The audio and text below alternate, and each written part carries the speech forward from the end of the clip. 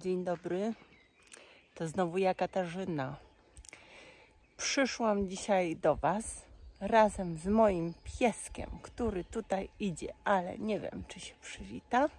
Chodź no chodź. Ponieważ wybraliśmy się na poszukiwanie rośliny, która się nazywa orzanka nierównoząbkowa. Mówi Wam to coś? Nawet jak Wam to nie mówi, to zapewniam Was, że po tym filmie będziecie o orzance wiedzieli wszystko, albo prawie wszystko. O, jest pies. Yy, I nie będziecie mieli absolutnie żadnego kłopotu z jej identyfikacją. Yy, tak, no, to w takim razie zaczynam.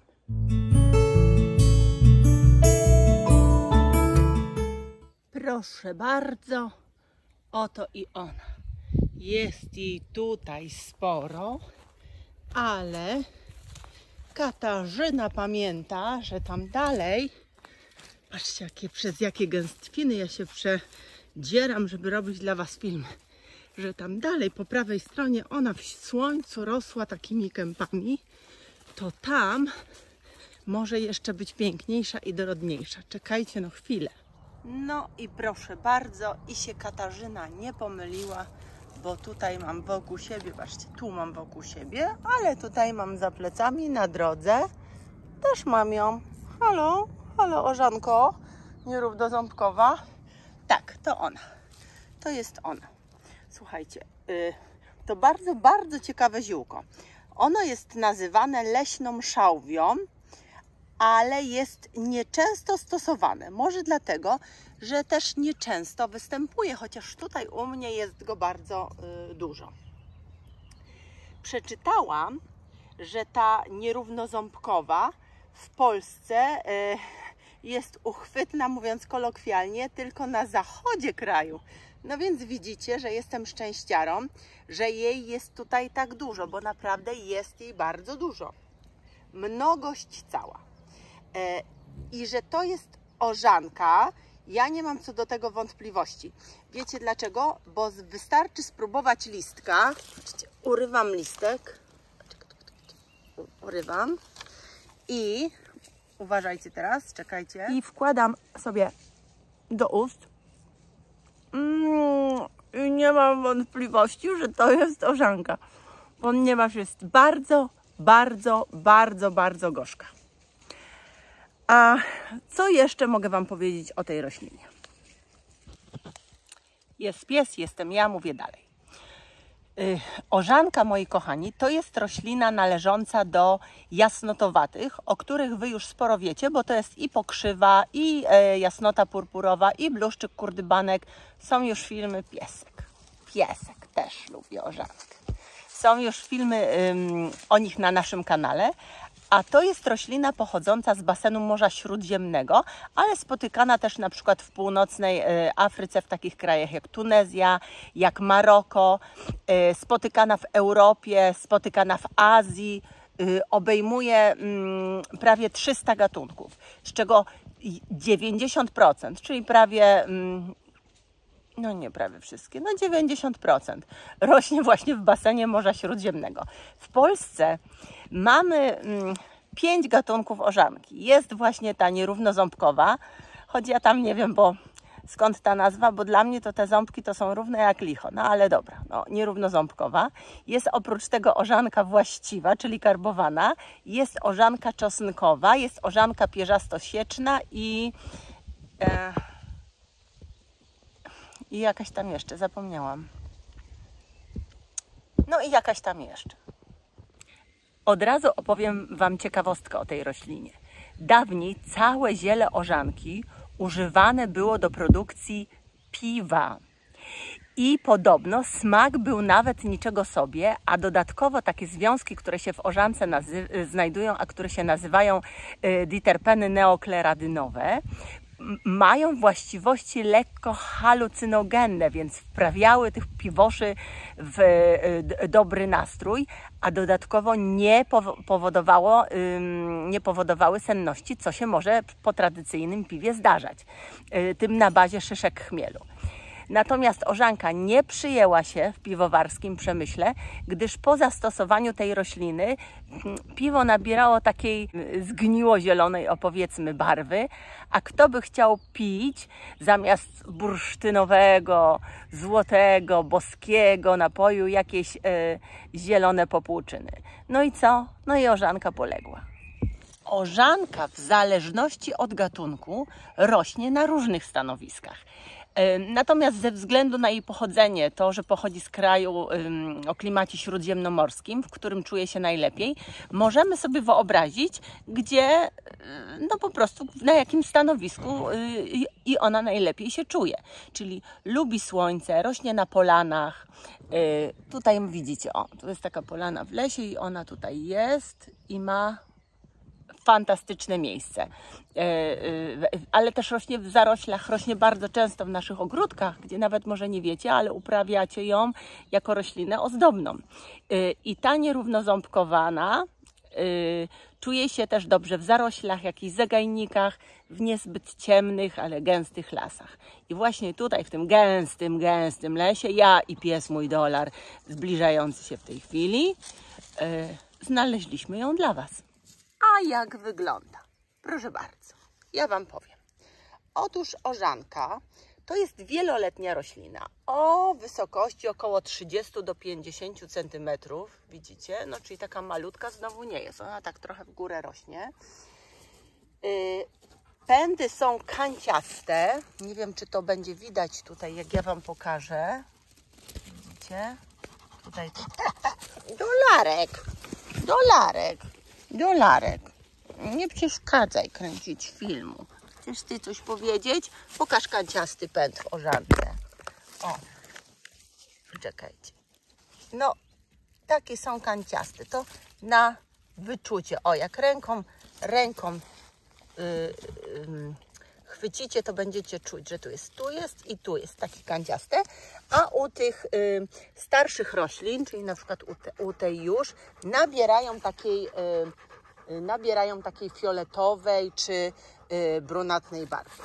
Kwiaty mają barwę żółtą i widzicie, już tutaj mam szczęście. Y, ten film kręciłam wcześniej, ale jak Wy będziecie go oglądać, to już na pewno będą kwiaty. Tu są jeszcze zaschnięte zeszłoroczne, a tu są jej kwiaty. Patrzcie, Ma, mają taką barwę żółtą lub żółtawo-zieloną i tworzą takie charakterystyczne jednostronne, bo widzicie, one są tylko po jednej stronie, yy, charakterystyczne niby grona.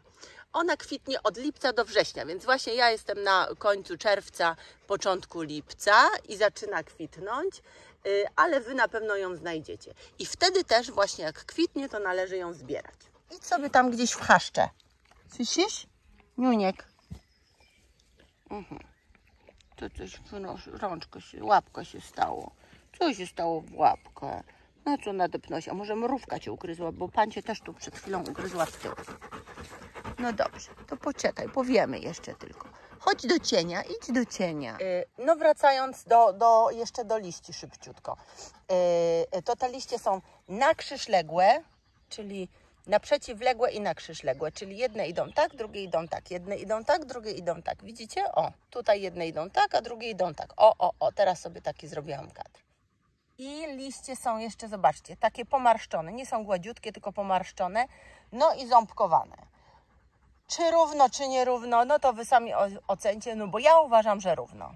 No ale może dlatego, że są takie pomarszczone, to się wydaje, że nierówno. No dla mnie równo jak, jak nie wiem co, że równiej być nie może. No natomiast, y, no tak, tak jest i koniec. A jakie związki posiada w sobie orzanka? Posiada flawonoidy, posiada triterpeny, posiada olejki eteryczne, które między innymi nadają orzance ten taka, taki lekko wyczuwalny y, zapach czosnku. Y, zwróćcie na to uwagę. Posiada też fenolokwasy, czyli kwas głównie ursolowy, który ma działanie przeciwnowotworowe i kwas kawowy, garbniki i te diterpeny neokleradynowe, które mogą być też ważne w leczeniu czego? W leczeniu depresji, w leczeniu depresji, w leczeniu lęku, te stany leczy się też orzanką. Y, a przez co orzanka jest zagrożona, y, dlatego że y, no, jak to bywa nieraz, Unia Europejska chce wykreślić ją z, z listy tych ziół dozwolonych do stosowania wewnętrznego, czyli podobnie jak wrotycz, orzanka może w przyszłości być no po prostu zabroniona do stosowania wewnętrznego. Ale wy wiecie dlaczego. Musiałam schować się do cienia, bo mój piesek narzeka, że mu jest gorąco, ale sam do cienia nie pójdzie, bo on tylko spędził. No dobrze, to jesteśmy w cieniu i teraz ja Wam powiem jeszcze, jakie działanie ma orzanka. Za mną ona jest, widzicie ją? O, jest. Ona ma działanie czyszczące naszą krew, możemy ją właśnie dlatego y, też stosować. Ma działanie odtruwające, ma działanie moczopędne, ma działanie silnie, bardzo silnie hepatoprotekcyjne, czyli chroni naszą wątrobę, nasz miąższ wątrobę, wątroby. Ma działanie ściągające, bo wiadomo, za to działanie ściągające odpowiadają garbniki. Ma działanie antyseptyczne, ma działanie wykrztuśne, więc może być stosowana w leczeniu kaszlu, może być stosowana, no powiedzcie, czy ona nie jest fajna stosowane w leczeniu kataru, a jak przy nosie już jesteśmy, to takie suszone i sproszkowane liście brytyjskie zielarstwo wykorzystywało do leczenia w nosie, mm, y, jak to się nazywa? O, polipów, tak? W jamie nosowej i w zatokach. Y, dlatego nazywano ją czasami cygańską tabaką ale można też stosować orzankę w, w zapaleniu migdałków, w bólu gardła, czyli w takich infekcjach górnych dróg oddechowych. Y, ma też działanie wzmacniające, ma też działanie przeciw, y, przeciwreumatyczne, może być stosowana w leczeniu dny moczanowej, e, e, więc e, no, nie tylko podagrycznik tu wiedzie prym, ale możecie, jak ktoś nienawidzi tego podagrycznika wstrętnego, to może sięgnąć po orzankę. Leczymy nią też żółtaczkę, zaburzenia trawienne, zaburzenia przemiany materii, więc może być na przykład też potężną bronią w walce o smukłą i piękną sylwetkę. I wreszcie ma działanie jakie? Przeciwgrzybicze i przeciwdrobnoustrojowe. No zobaczcie, ile tego jest. To jest naprawdę bardzo wszechstronna i bardzo, bardzo pożyteczna roślina. No proszę, jakiś leśny zwierz tam na mnie czeka. No idę, już idę. Tylko jeszcze Wam powiem, że z tym działaniem takim wszechstronnym, silnym y, wiąże się też działanie zewnętrzne orzanki, y, ponieważ okłady mm, z orzanki przyspieszają gojenie się ran i mówi się, że stąd też Y, od, który, od któregoś bohatera wojny trojańskiej, który, który zas, y, został w ten sposób uleczony, wzięła ona swoją nazwę, czyli Teukrium. Ale nie pamiętam dokładnie, jak to było i jaka to jest historia, więc mi wybaczcie. Natomiast jak. O, a tu jest to. Natomiast jak mamy, to wszystko jest ona tutaj na tej dróżce. Wszystko ona. Tutaj też ona, tylko trochę mniej, ale tam już zaczyna się światło, to już trochę więcej, ale na dróżce ona. Jeśli mamy problem z oczami na przykład, mamy opuchnięte, zaczerwienione albo tak zwany piasek w oczach, to możemy również na oczy y, stosować te kompresy z naparu orzanki. Jak teraz taki napar zrobić?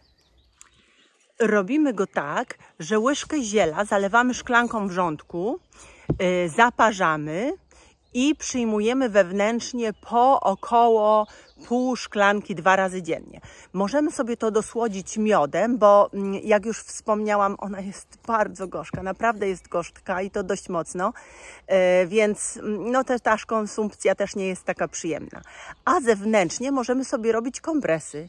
Możemy też y, na przykład mm, zrobić papkę z liści, dodać nie wiem, żywokost i tym leczyć trudno gojące się rany czy stany zapalne. I możemy wreszcie, uwaga, jako ja to czynię, proszę bardzo, będąc przypadkiem w okolicach Orzanki, zerwać sobie listek i skonsumować na miejscu.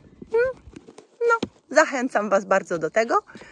A ja nad tym kończę, ściskam i biegniemy do domku z moim ukochanym pieseczkiem. Pa, pa, pa. Trzymajcie się ciepło. Też chciał powiedzieć do widzenia? To pożegnaj się łapą.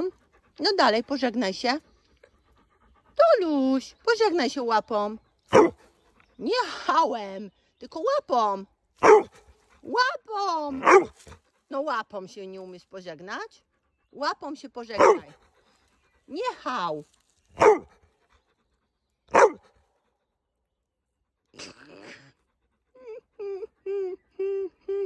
Co to upał robi z psem? Wszystko ci się pomyliło. Łapa ci się z hałem pomyliła. Nie mogę z ciebie. Idziemy do domu. Chodź. No dalej, do domu na kolację. Kiełbasa, chodź.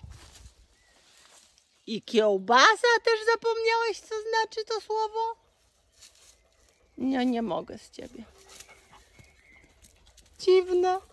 A może on sobie podjadł za dużo orzanki i ma jakieś halucynogenne teraz wizje. No nic, idziemy. Nie zawracamy już wam głowy. Pa, pa.